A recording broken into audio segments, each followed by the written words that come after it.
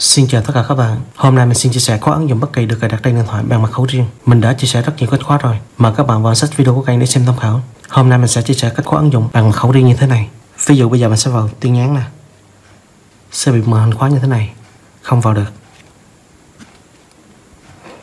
Hay vào thư viện ảnh nè. Cũng bị khóa, không vào được. Vào Facebook nè. Cũng bị khóa Bây giờ các bạn muốn vào được ứng dụng thì các bạn chỉ cần bấm như thế này. Bấm hai lần liên tiếp là sẽ vào được ứng dụng. Hay vào Messenger này. Và cách bấm mã khóa để vào được ứng dụng như thế nào là do mình tự thiết lập. Để khóa ứng dụng bằng mật khẩu riêng như vậy, thì mình làm như sau. Đầu tiên mình vào search play và mình sẽ gõ cái từ khóa là knock lock như thế này. Tôi chọn. Sau đó cài đặt ứng dụng này đây là biểu tượng ứng dụng nè. Bấm cài đặt. Ứng dụng hơn 80 thôi nên việc tải và cài đặt rất là nhanh, ứng dụng rất là nhẹ, mình chờ trong giây lát. Sau khi cài đặt xong, bấm mã vào ứng dụng. Tiếp theo, các bạn chọn câu hỏi và câu trả lời để khôi phục mật khẩu khi quay các bạn tùy chọn câu hỏi ở đây nè, tích chọn vào mũi tên nè. Tùy theo, các bạn chọn câu hỏi. Ví dụ ở đây mình sẽ chọn câu hỏi là bạn sinh ra ở đâu nè? Mình sẽ trả lời là Quảng Ngãi.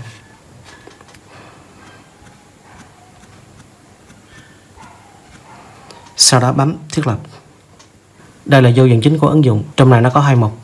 Một thứ nhất là khóa màn hình. Một thứ hai là khóa ứng dụng. Ở đây, mình sẽ chọn có một là khóa ứng dụng này tiếp theo mình sẽ bật khóa ứng dụng lên.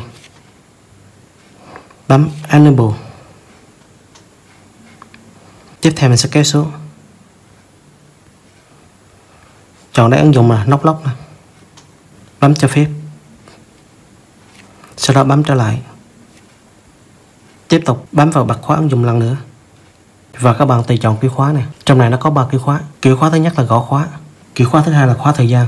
Kiểu khóa thứ ba là mô hình. Tùy theo các bạn chọn. Ở đây mình sẽ chọn cái khóa thứ nhất là gõ khóa nè và đây là hướng dẫn của ứng dụng này. Bây giờ màn hình điện thoại của mình sẽ chia ra bốn phần. Tương ứng là ABCD ở nửa trên là AB ở nửa dưới là CD ví dụ bây giờ các bạn muốn đặt mã khóa là nhấn hai lần liên tiếp, bên trái hai lần bên phải. Ở nửa trên thì các bạn sẽ chọn là a b b nghĩa là nhấn hai lần liên tiếp bên trái, hai lần liên tiếp bên phải, ở nửa trang màn hình này. Tương ứng là AABB như thế này. Sau đó bấm next tiếp tục xác minh hai lần bên trái, hai lần bên phải. Xác nhận. Như vậy là mình đã thiết lập mã khóa ứng dụng xong. Tiếp theo các bạn chọn đây có một là chọn ứng dụng để khóa này. Và bây giờ các bạn muốn khóa ứng dụng nào thì các bạn tích chọn như thế này. Bấm vào cài đặt setting. Mình kéo xuống tích chọn vào ứng dụng nóc bấm cho phép. Sau đó bấm trở lại. Và bây giờ các bạn muốn khóa ứng dụng nào thì các bạn tích chọn vào ứng dụng đó như thế này.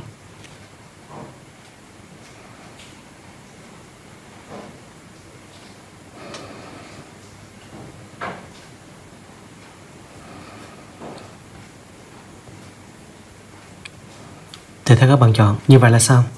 bấm trở về màn hình chính nè ví dụ bây giờ mình sẽ vào thư viện nè. Sẽ bị khóa như thế này, không vào được. Muốn vào dòng thì bấm hai lần liên tiếp, bên phải, bên trái. Là sẽ vào được. Vào Facebook nè.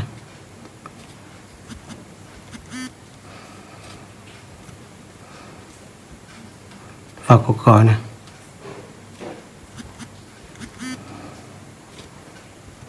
Còn nếu các bạn muốn bỏ khóa đây thì các bạn làm ngược lại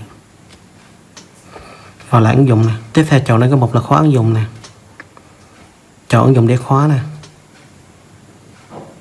Và các bạn bấm bảo chọn lên như thế này là sao? Cách khóa ứng dụng bằng mật khẩu đi như thế này rất hữu ích trong một số trường hợp. Video của mình đây là kết thúc. Xin chào tất cả các bạn.